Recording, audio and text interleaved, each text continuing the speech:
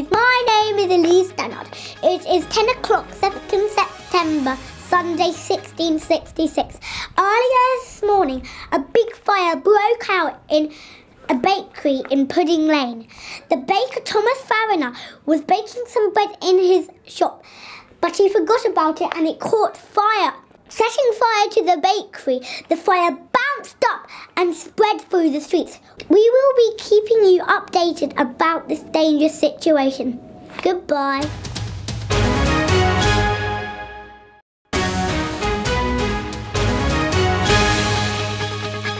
Welcome to Ashley TV News. My name is Elise Stannard. It is midday, Monday, 3rd September 1666. The fire from yesterday is still spreading. Here's our reporter Samuel Pepys. Sam, what else can you tell us? Well, Elise, my maid Jane woke me in the middle of the night. She told me there's a great big fire going on outside, so I went to take a look. The sky was filled with yellows, reds, and oranges. It was just like fireworks. Why do you think the fire is spreading so quickly? Well, Elise, there are three reasons. Firstly, the houses are built of wood, so they catch fire easily. Secondly, they're built very close together, so the flames can leap from house to house. And thirdly, the wind, it's fanning the flames, so it's keeping the flames alive. Thank you, Sam. Now, let's go over to the weather to see what the wind is likely to do. Thank you, Elise. If you look at the map, you can see that the wind is going in all sorts of different directions. Outside now it is very, very strong. I'm afraid it's going to be like that for at least another day. We will be back with more news tomorrow. Goodbye.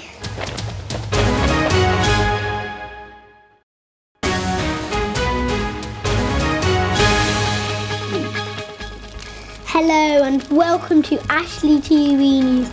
My name is Elise Stannard. It is 11 o'clock Tuesday, 4th of September 1666. I am back with some more fire news. The fire is getting bigger and bigger every day. Here's Sam again. Sam, are people doing anything to stop the fire? Not yet, but they're thinking about pulling down some of the houses to stop the fire spreading. I don't think they're going to do anything else. Goodbye, Sam. Now let's go over to the weather report from Caroline. Thank you, Elise. The wind is still very strong, but I've heard that it will calm down soon. After the fire has stopped, there may be a little rain, but that's after it stops. That is all I've got for you today. I'll see you tomorrow. Good night.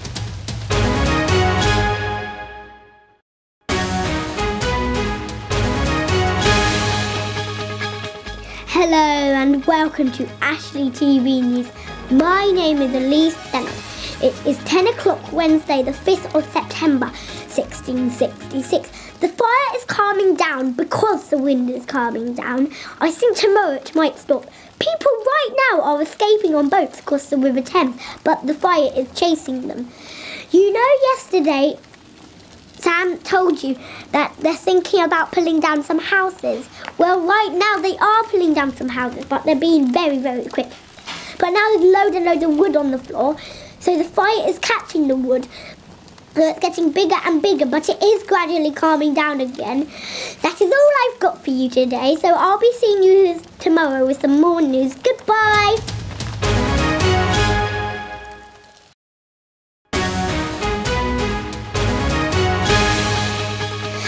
Hello and welcome to Ashley TV News. My name is Elise Stannard. It is 11 o'clock, Thursday, 6 September 1666. This morning, the fire stopped. Luckily, only six people died in the fire. Here's Lucinda, who's one of the people who escaped from the fire. Hello, Lucinda.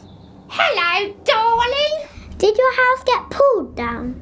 No, my house didn't get pulled down.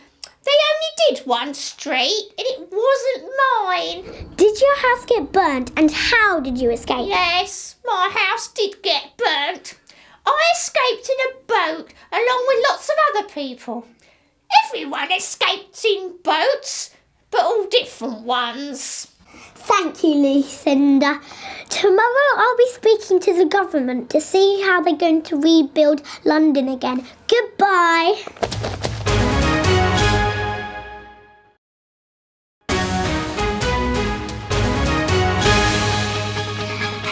And welcome to Ashley TV News. My name is Elise Dunham. It is Friday, 7th September 1666. You know, yesterday I said I would be speaking to, to a government minister to see how they're going to rebuild London again. Well, here he is.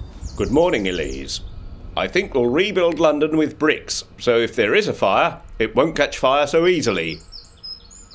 Thank you. That is all I've got for Ashley TV News today. Goodbye.